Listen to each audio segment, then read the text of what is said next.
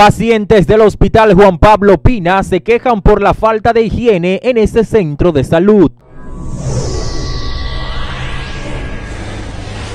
El director de la UAS de San Cristóbal revela que por el esfuerzo de la administración y el personal, ese recinto se mantiene abierto. Y continúa en su cargo el comandante policial de San Cristóbal, Fausto Aquino. En breve los detalles en Centro Sur de Noticias, emisión estelar.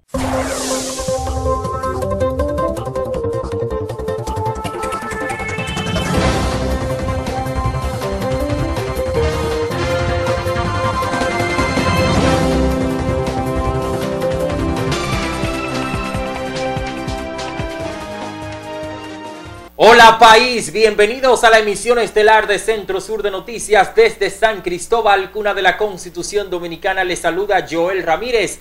En este lunes, inicio de la semana, vivimos el 7 de julio, año 2014. De inmediato, iniciamos con las informaciones. Ciudadanos consultados por Centro Sur de Noticias reclaman que sean reparadas las tuberías de la calle mm, Santomé, al lado del Hospital Juan Pablo Pina, ya que tan solo con caer una llovizna se inunda de agua los contenes de la vía, por lo que exigen la pronta intervención de INAPA y el ayuntamiento local. Hace falta un filtrante, el síndico no hace nada, entonces la población es que tiene el problema. Hay una chikungunya acabando con este pueblo y no hay, nadie resuelve nada, estamos huérfanos. ¿Cree que este, esta agua puede eh, provocar chikungunya? Pues pero limpia, mírala se ve, está limpia. Él la estaba grabando, moquito y 80 mil cosas más. Dengue hemorrágico, dengue clásico. Aquí no estamos huérfanos. Allá hay de todo, de todo. ¿Pero por qué se produce esto? Lo que pasa, mire, lo que pasa es que ese tubo que va allá al filtrante, allá está tapado de tierra. Es un tubo pequeño y eso está desde cuando Trujillo está ese ahí, ese tubo, y se ha tapado de tierra. Toda esa tierra de los nuevos ahí, baja ahí. Y de por aquí también. Entonces, se tapa el tubo y el agua no baja es de Achín que va. Yo quisiera que usted, que vaya allí y enfoque allí a este filtrante, que hay una gotitica lo que pasa, lo que va. Esa agua y nosotros a veces tenemos que sacarla con cubeta y tirarla para allá para que se vaya. ¿Y la autoridad nadie hace nada? Nadie hace nada. Eso lo limpiaron cuando vino Lionel a, a inaugurar y que eso ahí. Le sacaron el agua, un chin ahí para que estuviera limpio, jamás. Que tienen que limpiar, de tapar los, tapar los filtrantes para que se vaya el agua que no, no lo están tapando. Dice que hace mucho que está ese problema ahí. Hace mucho, sí. Nada ya afecta en su negocio. Claro, a todo el mundo que está por aquí le afecta esa agua posada ahí. Oh, eso es malo, eso es malo, eso es malo, que el ayuntamiento no está haciendo nada, ese síndico no está haciendo nada aquí, nada, por toda parte una basura, un basurero, eh, que no hay quien lo, que, quien lo aguante esto, todo está fuerte. ¿Cree que esta agua puede crear mosquitos? De todo, de todo, de todo, de todo eso. Ahí frente a un hospital ya tú sabes que es lo más fuerte. ¿Cómo se acaba la concuya? Nunca se acaba porque que donde quiera tuvo un charco, una vaina, una vaina podría, un grupo de basura. No, nunca pues... Es imposible. Imposible. Oh, el director por allá matando mosquitos y nosotros aquí llevándonos el diablo con esta agua. Que ya no aguantamos más. Más de 10 años tiene esa agua ahí, frente al hospital. ¿Y INAPA, estamos cansados de ir. Permiso, mire, permiso. Estamos cansados de ir a la, puerta de INAPA y nadie nos hace caso, con la bendita agua esta. Estamos cansados de ir al ayuntamiento y nadie nos hace caso. Sí, eso tiene alrededor de dos o tres meses que está totalmente tapada la tubería. Y eso sabemos que es un foco de contaminación y lo cerca que estamos del hospital Juan Pablo Pina. Eh, nosotros acudimos a, hemos acudido a las autoridades en estos días una brigada del ayuntamiento vino, trató de tapar, hicieron lo que pudieron, pero eh, no estaba, eh, no tenían los materiales o con qué trabajar esto, porque es que está totalmente tapada. Yo creo que debe intervenir otro organismo como INAPA y obra pública para ver por qué es que está totalmente tapado, no solamente este lado, sino allá donde está la esa cafetería, está totalmente tapado y cada vez que llueve esto se inunda. Y esto es Generalmente yo compro eh, cloro para echarle a eso, pero eso lo tenemos constante. Fíjate que no está lloviendo y está totalmente tapado.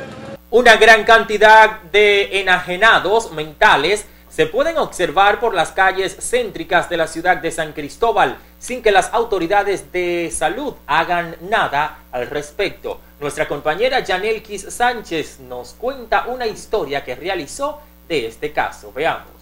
Los enfermos mentales que se ven en las diferentes vías públicas y de manera especial en los lugares más concurridos de la ciudad de San Cristóbal, como son las calles Avenida Constitución, Padre Ayala, Padre Borbón, María Trinidad Sánchez, plazas públicas y privadas, así como también los diferentes mercados de la ciudad que les sirve de sustento, alimento a estos enfermos que generalmente no tienen doliente. Estos enfermos obstaculizan el libre tránsito peatonal a personas convalecientes que se desplazan por las aceras que en muchas de las ocasiones se han atemorizado por los brincos, gritos, correteos, necesidades fisiológicas de estas personas que realizan en plena vía no importando la hora y lugar.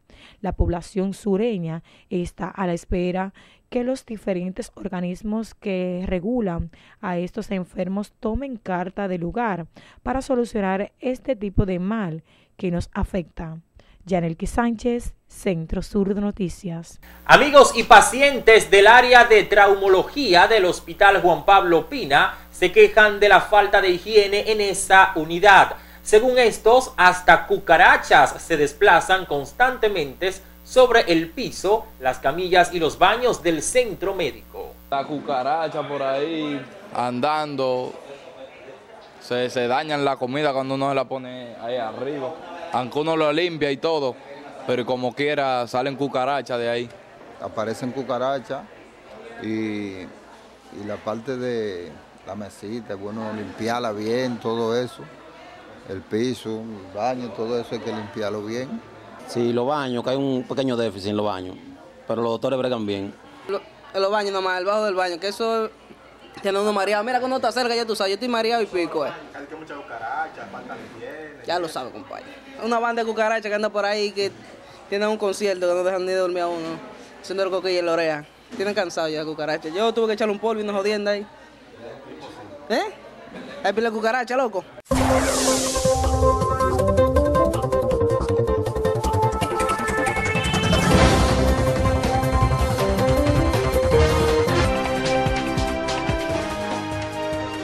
Nos vamos al segmento salud. Aquí siempre te entregamos un tema de tu interés. Préstale mucha atención al de este día. La urticaria es una enfermedad de la piel caracterizada por lesiones cutáneas edematosas, de contornos delimitados, generalmente evanescentes y cambiantes. La urticaria va acompañada generalmente del plurito, conocido también como picazón. Las lesiones se denominan abones. Las lesiones se denominan abones y son consecuencia de la vasodilatación y edema de la dermis superficial. La duración de los abones oscila entre 2 a 6 horas desde su inicio y pueden desaparecer espontáneamente para aparecer de nuevo en el mismo lugar u otro. Las causas de la urticaria no están totalmente aclaradas. Se desencadena por fenómenos inmunitarios que en ocasiones son consecuencia de los procesos alérgicos a algún alimento o medicamento. Para el tratamiento se emplean medicamentos antihistamínicos y corticoides en casos severos, los cuales facilitan la desaparición de los síntomas de la urticaria aguda y mejoran la urticaria crónica. Es tiempo de irnos a publicidad, pero cuando regresemos tenemos más informaciones. No le cambie, esto es Centro Sur de Noticias, emisión estelar.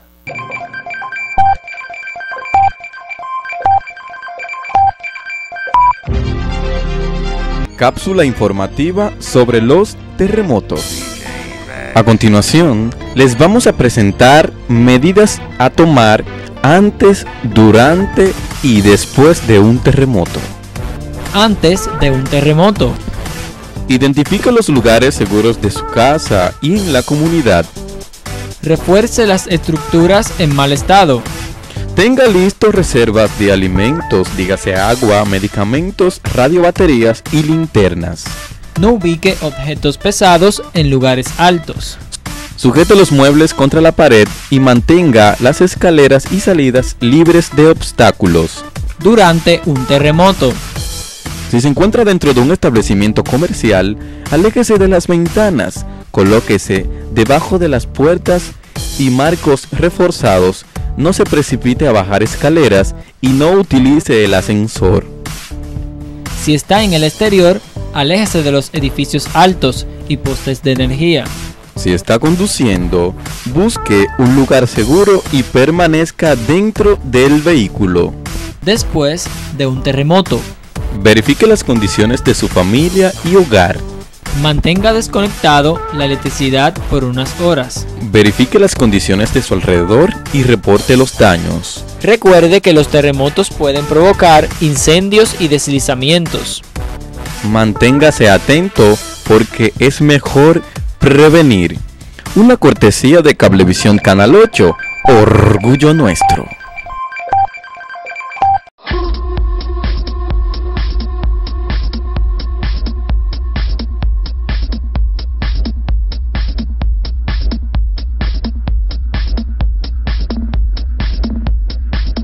Para equipar tu hogar, Distribuidora del Sur. Estufas, neveras, lavadoras, juegos de aposento con los más finos muebles que le dará el toque distinguido a su hogar.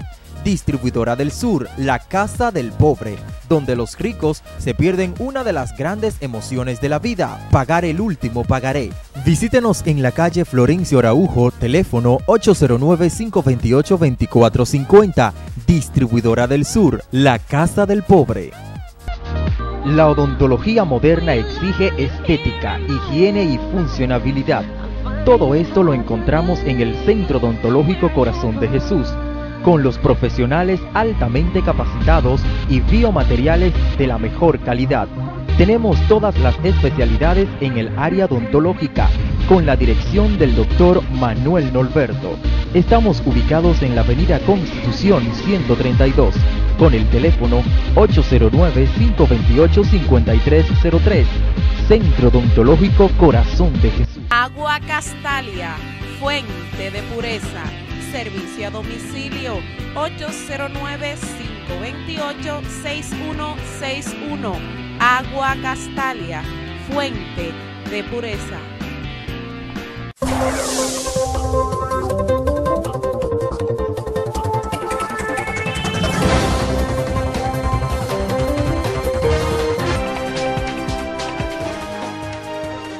Gracias por continuar con la emisión estelar de Centro Sur de Noticias. Vamos a entrar al bloque de las nacionales. Aquí hacemos un resumen de lo más importante ocurrido en este lunes en el ámbito nacional.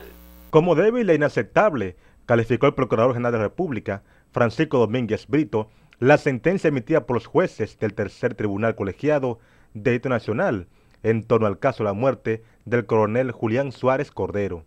Como máxima autoridad del Ministerio Público, Domínguez Brito adelantó que apelará la sentencia del tribunal consistente en 10 años de prisión contra Héctor Eduardo Pichado Hernández, así como el descargo a los demás implicados en la muerte del oficial de la Policía Nacional durante una protesta escenificada en la UAS. En otra información, el 28% de las personas que incurren en delitos penales han reingresado a los centros de reclusión más de una vez, en ocasiones hasta por 15 veces, por el mismo delito, o por la comisión de otros. En estos últimos casos se les considera un reincidente. Las autoridades penitenciarias determinaron que 7.238 personas infractores de la ley retornaron a los recintos en más de una oportunidad después de haber obtenido su libertad por diversas razones de una población de 25.330 personas. Estos constantes reingresos fueron medidos en un censo realizado por la Dirección General de Prisiones, DGP, en el periodo 2012-2013. Y en otro orden, el abogado Nanfi Rodríguez alertó a los congresistas que deben rechazar un proyecto de ley que reposa en la Cámara de Diputados con el cual se pretende responsabilizar a los periodistas como autores principales de los delitos de difamación e injuria que puedan cometer terceras personas. En una visita ante la Comisión de Medios de Comunicación de la Cámara de Diputados, Rodríguez advirtió que sería un absurdo trasladar la responsabilidad principal de los delitos de prensa del director de medios a los periodistas, excluyendo al tercero que realmente ha proferido la frase infamante. En las nacionales de Centro Sur de Noticias, Alexander Vallejo. Continuando con Centro Sur de Noticias, agentes de la Organización Internacional de la Policía Criminal Interpol y miembros de la Dirección de Investigación de Homicidios y Delitos Criminales de la Policía Nacional apresaron en esta ciudad de San Cristóbal a un hombre cuando intentaba huir del país tras ser acusado por su ex esposa de haber violado en múltiples ocasiones a su hija menor de 15 años. El acusado es conocido como José Octavio Collado, de 53 años de edad, quien fue apresado por un equipo de agentes dirigido por el mayor Julio Ernesto Hermosén cuando se disponía a viajar a Nicaragua. Este sábado, Acollado Ramírez, el juez de suplente de la Oficina de Atención Permanente del Distrito Judicial de San Cristóbal, Johnny Pérez le dictó tres meses de prisión preventiva a ser cumplida en la cárcel modelo de Najayo. Según versiones de familiares de la víctima, Godoy, quien supuestamente se dedicaba a la jugada de gallos, además de violar a su propia hija, también ha hecho lo mismo con otras menores de edad, pero solucionaba este problema con dinero.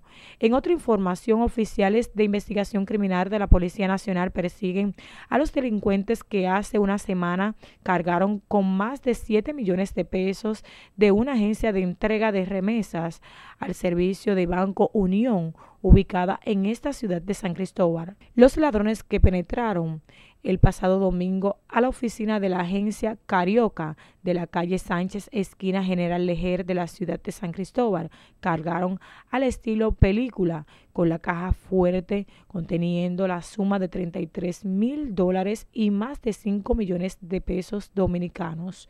Yanelki Sánchez, Centro Sur de Noticias. Nos vamos a las informaciones más importantes que han ocurrido en este lunes en nuestro sur profundo. En Barahona, un haitiano mató esta madrugada a su mujer de la misma nacionalidad hirió de gravedad a una hija de unos 5 años en Juancho de Pedernales. La mujer asesinada fue identificada como Sandra, quien fue encontrada esta mañana en un monte cercano a la vivienda en donde ambos residían. El victimario fue identificado como Papito, quien fue apresado por la policía y se encuentra detenido en el departamento de Pedernales.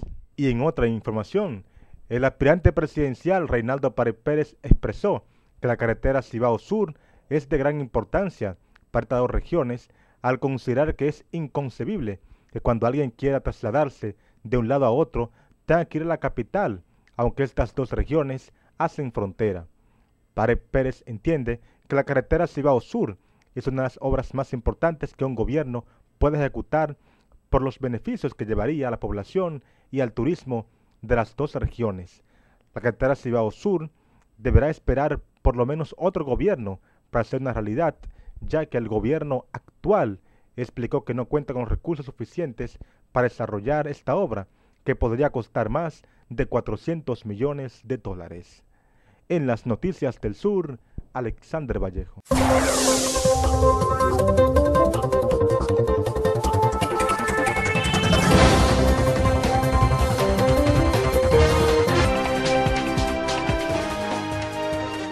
Amigos, y es tiempo de recibir con nosotros a nuestra compañera Julia Ortega y las informaciones del mundo en las internacionales. Buenas noches, Julia.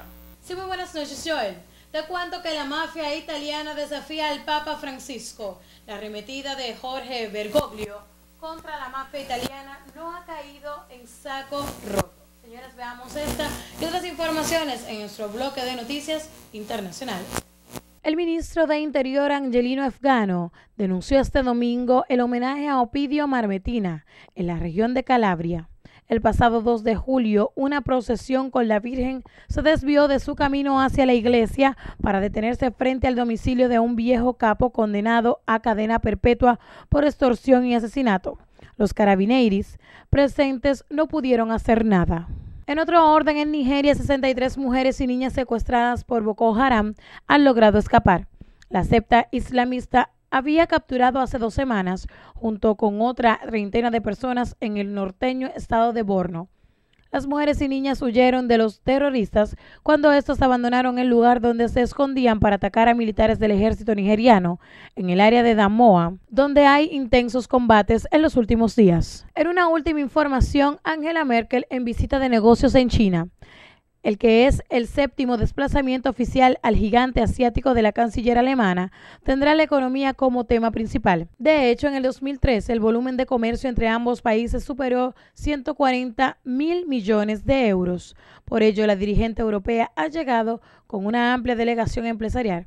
Entre los desplazados se encuentran representantes de Airbus, que han firmado un acuerdo con Pekín para la venta de 100 helicópteros a empresas chinas. Y sin embargo, no todos son negocios. Merkel aprovechó la visita para hablar de la detención de un miembro de los servicios de inteligencia alemanes, sospechosos de trabajar como agente doble para los Estados Unidos. Señores, eso es todo lo que tenemos en las internacionales en el día de hoy. Joel, regreso contigo. Gracias a nuestra compañera Julia Ortega. Feliz noche para ti y gracias por informarnos de todo lo que aconteció en este día en el ámbito internacional. Cambiamos de tema y vamos a pasar con nuestro director de prensa, Julito Pereira, y su comentario de actualidad. Saludos amigos. Yo no sé si ustedes se han fijado que aquí en San Cristóbal los precandidatos a la alcaldía y a diputados visitan los sectores de San Cristóbal, muchos barrios de San Cristóbal, prometiendo muchas cosas. Y en muchas de esas cosas no son de la gestión si llegan a ser o diputados o alcaldes.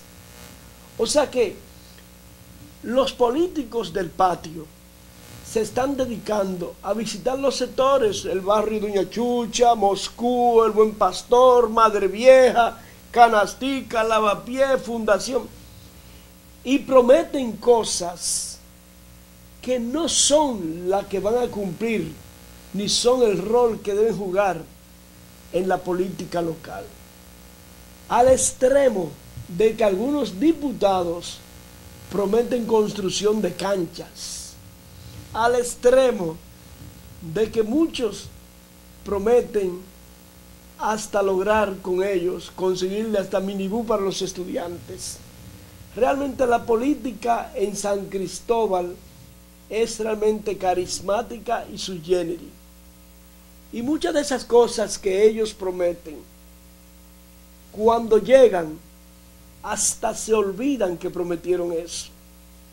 Por eso los políticos de San Cristóbal, y especialmente los precandidatos que están aspirando ahora a diputado y, y a síndico, deben tener mucho cuidado porque en esos barrios que ellos visitan, la gente no se olvida de las promesas, las tienen pendientes y cuando ganan es lo primero que les recuerdan. Eso es así. Y ojalá comprendan esos precandidatos que el pueblo no borra y que ya los brutos en política dentro del pueblo se ven muy pocos. Muchas gracias.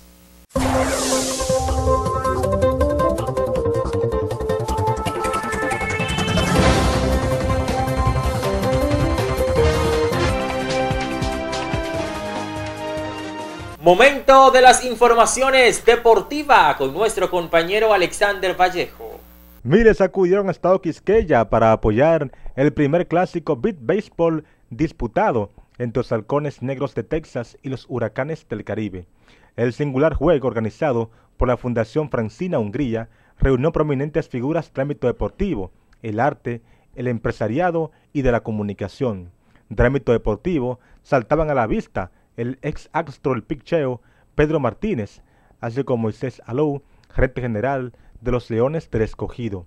Igualmente, Octavio Dotel y el ex intermedista Quilvio Veras las vistosas y populares mascotas de los equipos de béisbol invernal dominicano, Águilas Ibaeñas, donde el escogido y Tigres del Licey animaron a la concurrencia con sus jocosidades. Y en otra información, un total de 10 peloteros dominicanos fueron seleccionados para participar en el Juego de Estrellas de las Grandes Ligas, certamen que está programado para celebrarse el próximo 15 de julio en el Target Field de Minnesota. Los escogidos fueron seis en la Liga Americana y cuatro en la Nacional. Del grupo El Joven Circuito, tres serán abridores y estos son Robinson Cano, intermedista, José Bautista Jardinero y Nelson Cruz designado, mientras que los relevistas en este circuito serán Adrián Beltré, Edwin Encarnación y el lanzador Delfín Betances. Este último estará en su primer Todos Estrellas.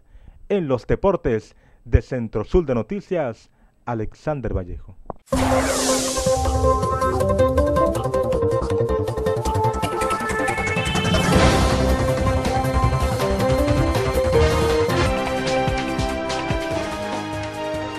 Amigos, cada lunes está con nosotros nuestro amigo José Ceballos, quien nos informa acerca de cómo andan las condiciones del tiempo para esta noche y las primeras horas de mañana. Buenas noches, José. Muchas gracias. Un saludo cordial a toda nuestra amable teleaudiencia y gracias por preferirnos a esta hora como su noticiario estelar.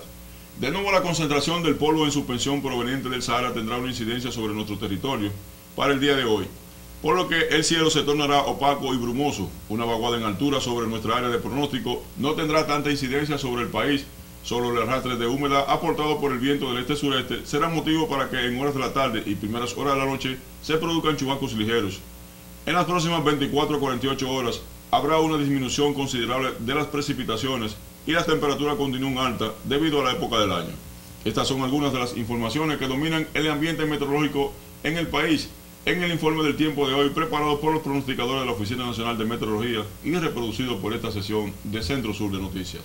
Viento del este, sureste y chubascos ampliamente aislados.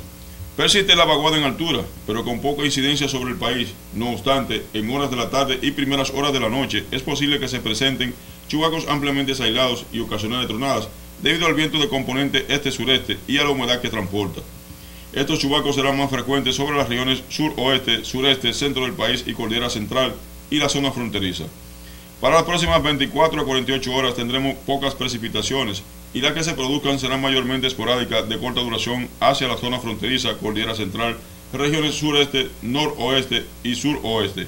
Hoy se espera sobre el país una mayor concentración de polvo en suspensión proveniente del Sahara, razón por la que el cielo se tornará opaco y ligeramente brumoso. Para la provincia de San Cristóbal hoy tuvimos una mañana con el cielo parcialmente nublado y brumoso, chubacos ligeros, sensación térmica sobre los 27 grados Celsius con temperaturas entre los 29 grados Celsius a los 31 grados Celsius. En el resto del periodo, nubes dispersas siendo nublado en ocasiones en la tarde y primeras horas de la noche, con chubacos ampliamente aislados, de corta duración y posibles tronadas mayormente hacia la zona norte de nuestra provincia. La humedad relativa estará en el día en un 71% y en la noche de un 80%. Las temperaturas en el día rondarán entre los 30 a los 32 grados Celsius con máxima de hasta 33. En cuanto a la velocidad del viento en el día estará del este-sureste a 19 km por hora y en la noche del este-noreste a 11 km por hora. Posibilidades de lluvias entre un 20 y un 30%. El sol se ocultará a las 7.21 minutos de la tarde de hoy, un amanecer de las 6.10 am del martes, con temperaturas mínimas entre los 24 a los 25 grados Celsius. En el pronóstico extendido para mañana martes se esperan pocas precipitaciones y las que se produzcan serán mayormente esporádicas de corta duración en la tarde y la noche en las regiones noreste, sureste y la cordillera central. Ya para el miércoles, ligeros incrementos de la nubosidad en la tarde y primeras horas de la noche con el acercamiento de una onda tropical con la ocurrencia de chubacos aislados y tronadas hacia las regiones sureste, noroeste, suroeste y la cordillera central. Las temperaturas continuarán calurosas por esta razón la Oficina Nacional de Meteorología recomienda a la población ingerir suficientes líquidos, vestir ropa ligera, preferiblemente colores claros, y no exponerse directamente a los rayos solares entre el periodo de 11 de la mañana a 4 de la tarde. En resumen para el país, vaguada en altura con poca incidencia sobre el país, viento del este-sureste, chubascos ampliamente aislados de corta duración. De nuevo comienza a incidir el polvo del Sahara en el área del Caribe y para la República Dominicana esto ha sido catastrófico, puesto que las lluvias se han alejado de la República Dominicana. ¿Y cómo se forman las tormentas en el Sahara? La arena del Sahara se levanta cuando el aire cálido del desierto choca con el aire más fresco de la región del Sahel, justo al sur del Sahara. Mientras que las partículas ascienden, los vientos alisios comienzan a soplar hacia el oeste en el Atlántico Norte. Las tormentas de polvo se forman durante los meses de verano y del invierno, pero en algunos años, por razones que no se entienden, apenas se forman en todos los meses. Sus efectos en las condiciones del tiempo y la salud por sus características físicas, las partículas de polvo reducen el tamaño de las gotas de lluvia e inhiben la formación de nubes de gran desarrollo vertical, generadores de precipitaciones, favoreciendo así los procesos de sequía y en la salud el peligro que genera el fenómeno, que cubre un área de casi 800 kilómetros de ancho, radica en la concentración de bacterias, virus, esporas, hierro, mercurio y pesticidas. Estos contaminantes los recoge a su paso por las zonas desforestadas del norte de África. Esta tormenta, cuando logran concentrarse y alcanzar áreas pobladas, pueden provocar la aparición de alergias y crisis asmáticas en muchas personas, sobre todo en aquellas que ya sufren problemas respiratorios o de inmunodepresión. Así es la cosa con el tiempo. Con esta nota final, esta ha sido nuestra entrega del día de hoy en el informe del tiempo y su pronóstico extendido hasta el miércoles, según la Oficina Nacional de Meteorología para el territorio nacional y la provincia de San Cristóbal. Volvemos con ustedes. Conectamos con nuestra segunda pausa para la publicidad. Cuando estemos de regreso tenemos más informaciones. No le cambie, ya regresamos.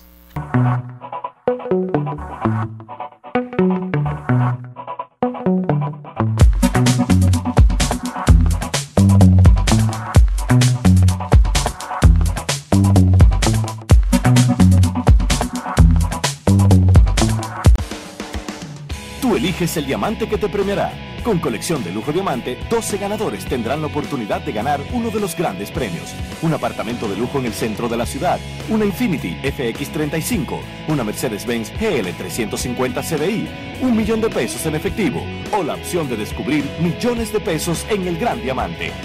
Hay varias formas de participar, canjeando puntos demás por boletos, comprando 300 pesos en ofertas patrocinadoras. Plaza Valerio. Todo lo que necesites en el área de ferretería. En la grandota lo encontrarás. Maciel Comercial Ferretería.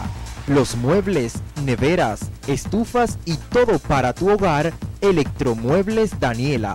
Visítanos en el kilómetro 2, carretera San Cristóbal Baní, con los teléfonos 809-528-5500 y 528-2952. Plaza Valerio.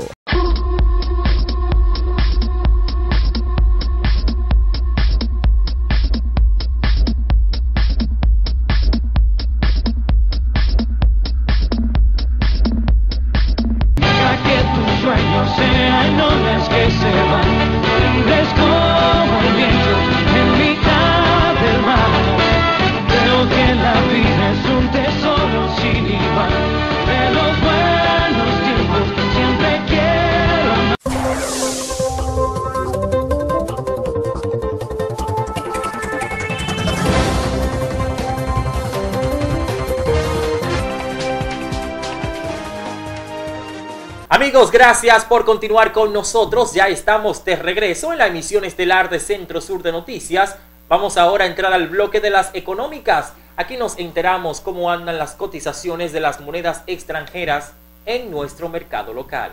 El director ejecutivo de la Comisión Nacional de Energía, Enrique Ramírez, junto a técnicos de la institución, inspeccionaron el inicio de la construcción de la planta de biomasa San Pedro Bioenergía de esa ciudad, la cual será la planta de biomasa más grande de República Dominicana, el cual generará en una primera etapa de energía eléctrica con los bagazos de la caña del ingenio Cristóbal Colón. Los promotores del proyecto informaron que de los 30 megas que producirá la planta, alrededor de 10 serán utilizados por el ingenio azucarero en época de zafra y el resto será inyectado al sistema interconectado, mientras que en época de no zafra el 100% de la energía generada será inyectada al sistema interconectado. Cotización de las monedas extranjeras en el mercado nacional. Tenemos que la compra del dólar se encuentra a 43 pesos con 30 centavos, su venta a 43 pesos con 55 centavos,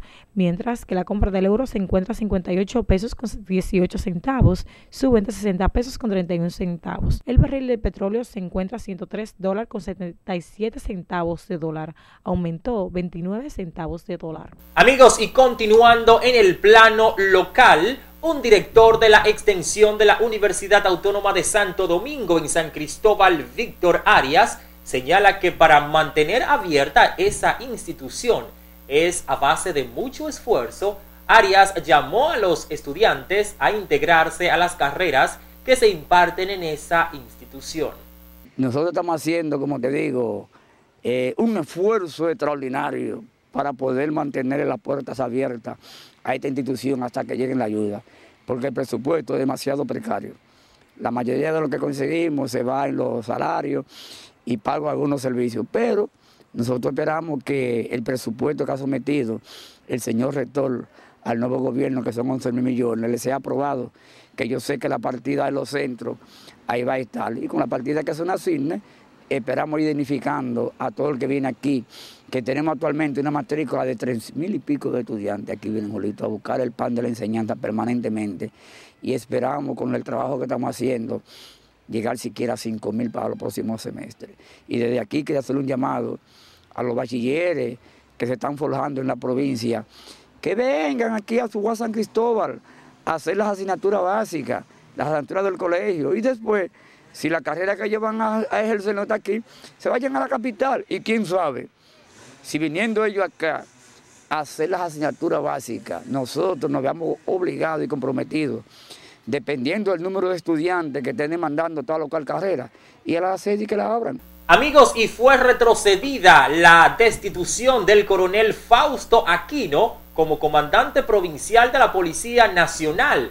Se recuerda que el jefe policial mayor general Manuel Castro Castillo había dispuesto el cambio de Aquino por el coronel Raúl Esteves. Alexander Vallejo nos cuenta qué pasó. Fue retrocedida la destitución del coronel Fausto Aquino como comandante provincial de la Policía Nacional, según confirmó el personal policial que labora en el despacho superior local. El cambio estuvo a punto de efectuarse, pero finalmente fue dejado en su cargo el coronel Fausto Aquino. Se recuerda que el mayor general Manuel Castro Castillo habría dispuesto la remoción de Aquino y en su lugar se pensaba designar al coronel Raúl Esteves, esto como una forma de relanzar la comandancia de esta ciudad ante los constantes hechos delictivos que se han producido, entre ellos el robo multimillonario de los cajeros de la Sirena y de la caja fuerte del Banco La Unión. Estos actos ocurrieron en menos de dos meses. Alexander Vallejo, Centro Sur de Noticias. Amigos, y el comandante provincial de la Autoridad Metropolitana de Transporte, AMED, coronel Ciprián Martínez, informó que ya se inició en San Cristóbal el operativo de incautación de luces intermitentes y sirenas en vehículos comunes. Asimismo, indicó que han sido incautadas decenas de motocicletas a conductores que manejaban de manera temeraria en la autopista 6 de noviembre. Alexander Vallejo trabajó el caso y nos cuenta.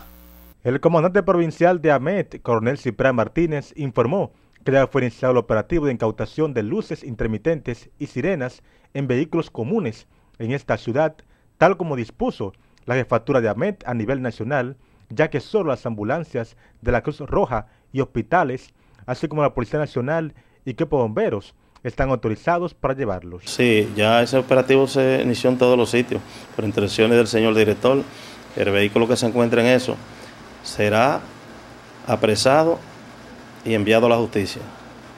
Okay. ¿Se van a incautar tanto los vehículos de instituciones públicas como también de cualquier persona? Claro, porque ningún vehículo puede, que no esté autorizado no puede usar la centella. Asimismo, Cipra Martínez indicó que han sido incautadas decenas de motocicletas a conductores que manejaban de forma temeraria por autopista 6 de noviembre, específicamente a los que se dedican a realizar las famosas carreras. Eh, aquí enviamos 16 y de Baní enviamos 30. Esos son los que, se, lo que están echando carrera en la 6 de noviembre. Esos son los que se dedican a echar carrera en la 6 de noviembre. San Cristóbal en la actualidad es una de las provincias del país con mayor número de accidentes de tránsito causados por motocicletas, regularmente provocados por la imprudencia de sus conductores. Alexander Vallejo, Centro Sur de Noticias. El precandidato a diputado por el Partido de la Liberación Dominicana Alexis Sánchez, junto a precandidatos a regidores, se movilizó al barrio Jeringa a una jornada de prevención y control de plagas y fumigación con el objetivo de prevenir el vector que produce el virus de la chikungunya. Yanelkis Sánchez nos amplía. Sánchez recorrió el populoso sector desde tempranas horas de la mañana de este domingo con su equipo de campaña con el objetivo de orientar a los residentes de la zona de cómo eliminar los criaderos de mosquito aplicando cloro a los recipientes que almacenan agua en los hogares fumigando y distribuyendo volantes alusivos a su precandidatura a diputado.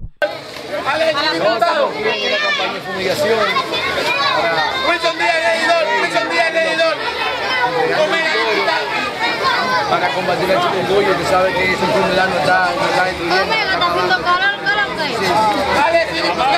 Alexis Sánchez, quien se hizo acompañar de los precandidatos a regidores Wilson Díaz y Alexis Martínez, recordó además a la población que la chikungunya es un virus que propaga fiebre, dolores intensos en las articulaciones y erupciones en la piel, que rara vez causa la muerte y para la cual no hay vacuna ni medicamentos específicos. Exhortó a la población a escuchar y poner en práctica las orientaciones que ofrece el Ministerio de Salud Pública y los motivó a continuar integrado a las brigadas que trabaja casa por casa en las comunidades. Yanelki Sánchez, Centro Sur de Noticias. Amigos, y nosotros así ponemos punto final a la emisión estelar de Centro Sur de Noticias. Qué placer es estar con ustedes e informarles cada noche, al igual la gente que siempre nos expresa sus comentarios y opiniones a través de las redes sociales. Ahí están en pantalla nuestro portal www.centrosurdenoticias.com, al igual que las redes sociales arroba CSN Noticias 8, nuestra cuenta en YouTube para ver las emisiones y también las noticias en cualquier parte del mundo. Además, recuerda que tenemos nuestros números telefónicos, ahí están en pantalla y por supuesto pueden hacer la interacción conmigo a través de mi red social arroba Joel Ramírez 88, por ahí estamos en nuestra cuenta en Twitter. Gracias por la sintonía. Mañana es el compromiso de estar con ustedes a la misma hora y por este mismo canal desde San Cristóbal, la cuna de la Constitución Dominicana, de informarles de todo lo que ocurre en nuestra provincia y el resto del país. Mantenga la sintonía. Hasta la próxima.